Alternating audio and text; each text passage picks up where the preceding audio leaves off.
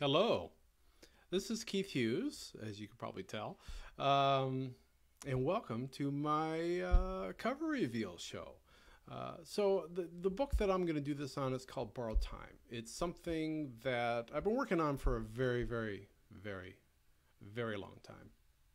Um, I, I, first released it on podiobooks.com uh, back in 2009. In fact, July of 2009. So we just passed the nine year anniversary of that.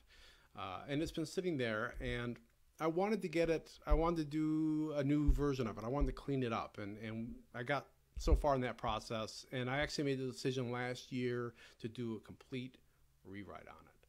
So, I mean, I'm, I'm talking total, uh, yes, yes, a very, very, very, very long time. A lot of varies in there. And hi, Maureen.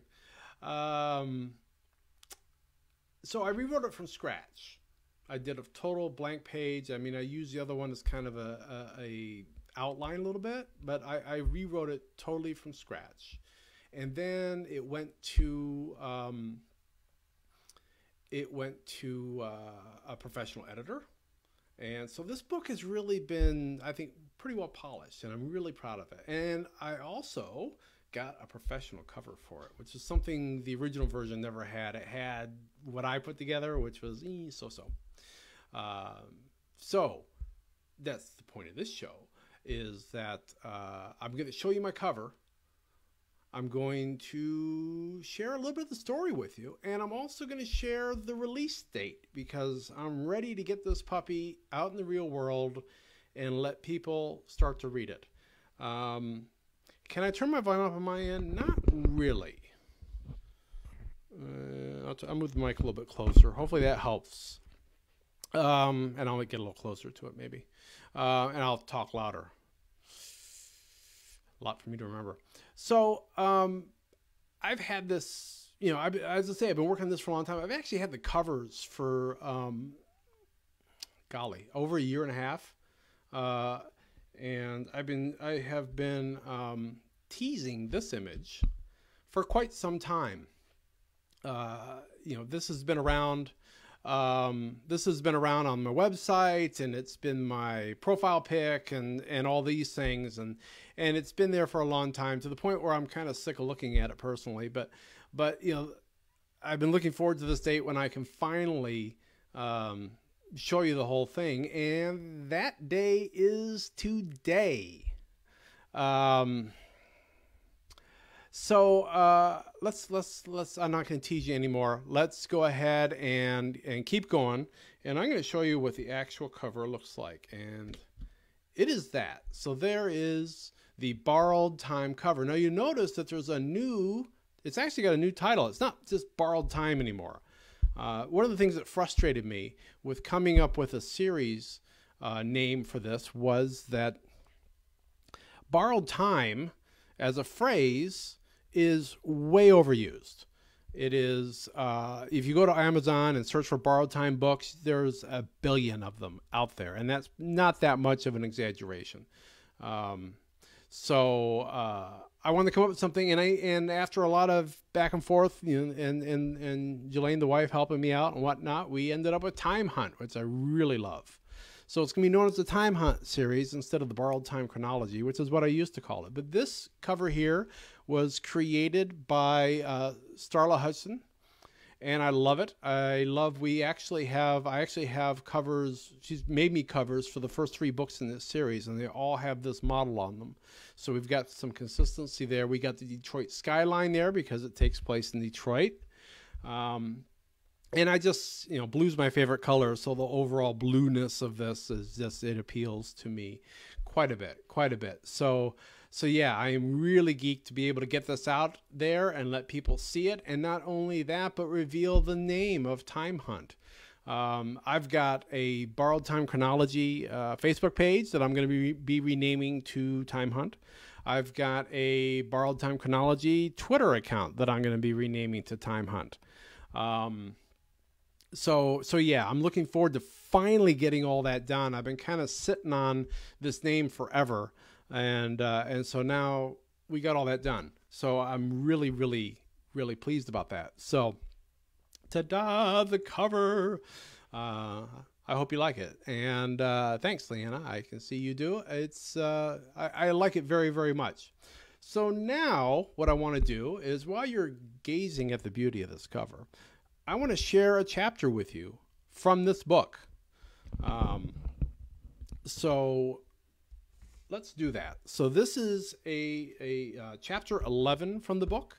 Um, just kind of set it up a little bit. So our main character, uh, a, a, guy by the name of Ness Relevont, he has a friend and mentor who is a um, research physicist, and he has created a time machine and put it into a what, what was used to be called a personal digital assistant or a PDA.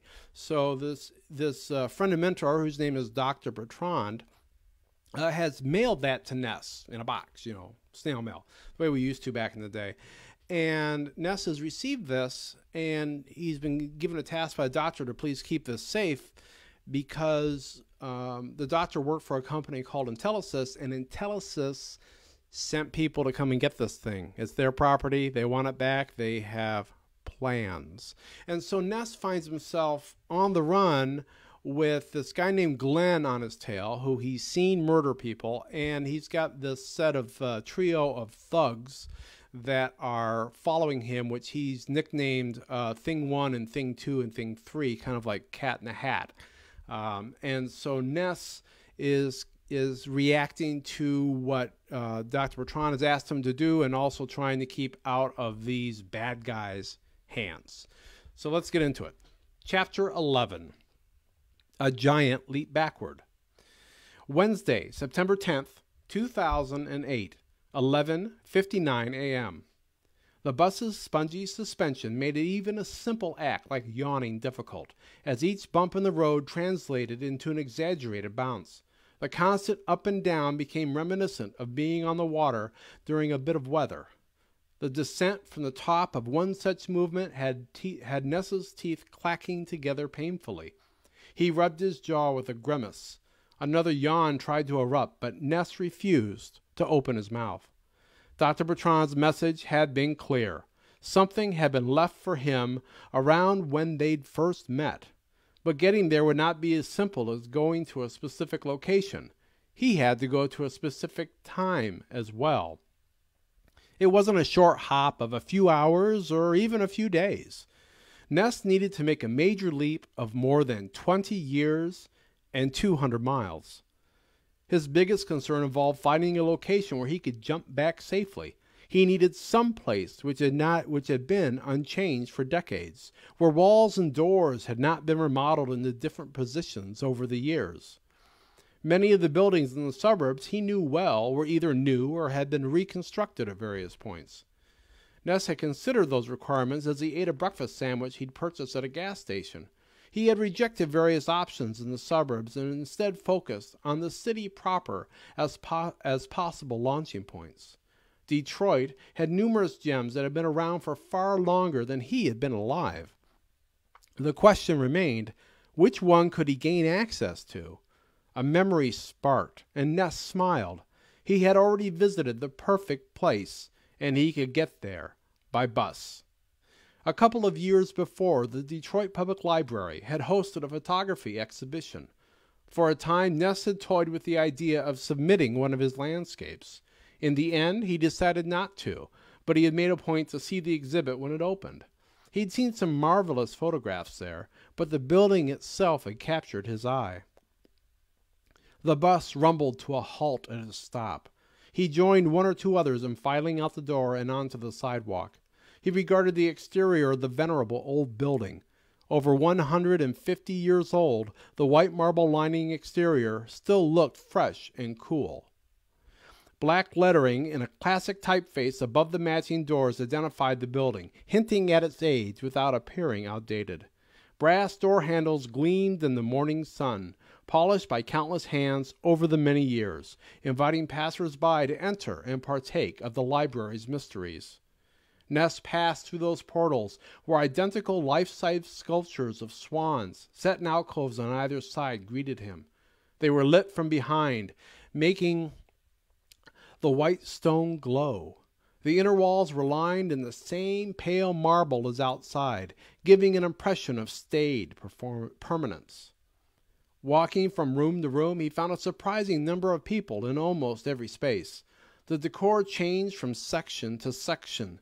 One addition at the back exhibited classic 1960s architecture, whereas others were all dark wooden beams and plaster walls. Artwork, ha- artwork had been placed everywhere, almost making it a museum in its own right. As it, as it had during his previous visit, Diego Rivera's vast mural spanning several walls transfixed him for long minutes. When he finally finished his tour of the public areas, he still had not found a safe launching point. More to the point, he could not identify any place he could unexpectedly pop into existence many years in the past without causing a disturbance. Most of the furniture looked somewhat contemporary, and the shelves were up to date as well. There were scuffs on the floor indicating that they may have been in different configurations in the past and pretty much every area he visited had at least a couple of people in it. He might have to find some place else to launch his journey. Ness headed for the exit, his shoulders slumped. A pressing need drove him to visit the men's room before leaving, though. As soon as he entered, his disappointment disappeared. If he didn't know the PDA remained untouched in his pocket, he might have assumed he had already traveled back in time.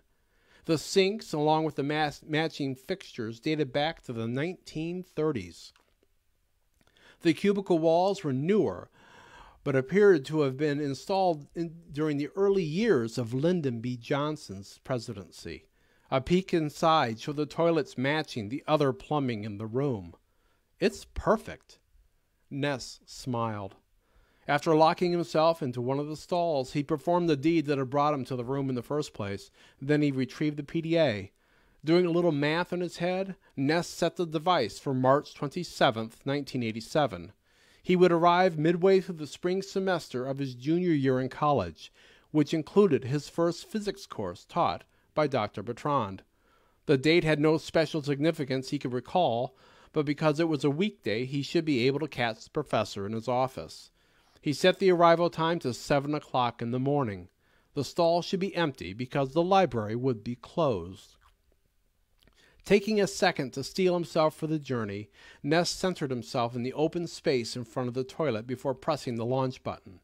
He experienced the same sensations as before, but the pouring of himself from one time to another took infinitely longer. Finally, color returned to his world. Ness wrinkled his nose. The odor was the first indication that the bathroom held other occupants.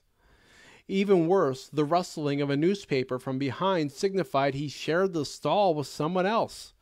Ness turned to see a man in a janitor's uniform staring at him over a copy of the Detroit Free, the Detroit Free Press. Resisting the urge to study the front of the paper for the date, he turned to unlock and open the door. I am so sorry. He stepped out quickly. I assumed this stall was empty. When he shut the door again, he heard the stall's occupant, occupant engage the latch and then rattle it a bit to test the lock. Ness escaped before the janitor could ask about his presence there hours before the library opened. He made his way out the front doors without encountering anyone else. From the sidewalk, Ness surveyed the street. The cars that passed ranged from models made in the 1960s and 70s to what would be the newer 1980s vehicles. The sight reminded him of the annual Dream Cruise, a roving classic car show that crept up and down Woodward Avenue one weekend every summer. A quick examination of a nearby newspaper box confirmed he had traveled to 1987, and tension eased in his back and head he existed beyond the grasp of Glenn and his things. Traffic was light so early in the morning, so he jaywalked to the other side of the street and waited in front of the Detroit Institute of Arts for the northbound bus. After only a few minutes, it arrived, and he grinned at the cheap fare compared to 2008. He sat near the door, as the ride along Woodward Avenue would be short, a map affixed to the first bus stop of the day confirmed he would need to ride only a few blocks north to the main bus station. In all honesty, he could have gone on foot, but he wanted to get there as soon as possible. A short time later, Ness bought fare for a greyhound heading to Kalamazoo, the home of his alma mater. Once again, he found himself appreciating the prices in this time compared to his future. Ness felt a surge of panic when he handed over one of the newer $20 bills from his wallet. The cashier puzzled over the large offset image of Andrew Jackson, but Ness plucked the bill back and muttered something about monopoly money. He dipped into Dr. Bertrand's envelope of period specific cash and handed her one of the twenties. The cashier looked at it curiously for a brief second, but the familiar bill passed muster, and she counted out his change. A bag of chips and a Sprite from a vending machine served as a second breakfast while he waited until boarding time. He watched from a slightly comfortable seat in the station as other travelers went about their business. The focus of his life for the last two days had disappeared, the deep seated fear of being caught by the minions of Intellisys. The stress caused by his circumstance had the muscles in his back knotting with dread. Ness was only beginning to understand how much it had affected him. Safe from Glenn and his goons for the time being, he reveled in a sensation of freedom. There was no way they could find him now. He had lost himself in the past. All right, that is the excerpt. And hi to Peter and Adam who joined the uh, the, the live broadcast. Uh, great to see you guys here. That was the excerpt from Time Hunt Borrowed Time. I hope you enjoyed it. Um, I, I, I like that particular scene, especially him kind of arriving on top of the guy in the bathroom. That would be a bit embarrassing. So let me get to my next order of business, and that is to reveal the launch date for this bad boy. And without further ado, here it is. August 17th, 2018 will be the date that this goes live on Amazon. It will be available as an ebook on Amazon. It will be available in the Kindle Unlimited program. If you do that, so you if you are a Kindle Unlimited customer, you could actually read it for free.